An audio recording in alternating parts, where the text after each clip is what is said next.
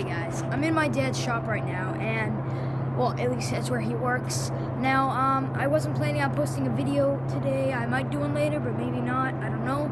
Definitely tomorrow.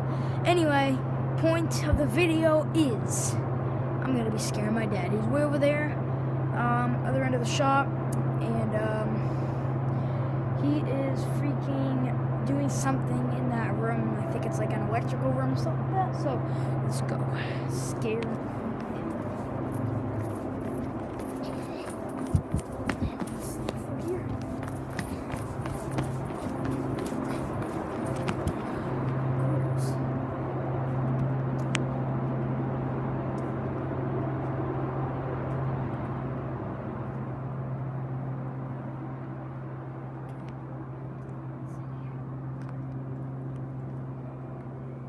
Oh my gosh.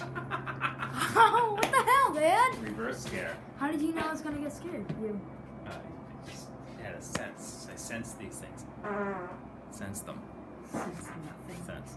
You heard me. I was talking, didn't you? Sense them. Heard me. Oh, ugh.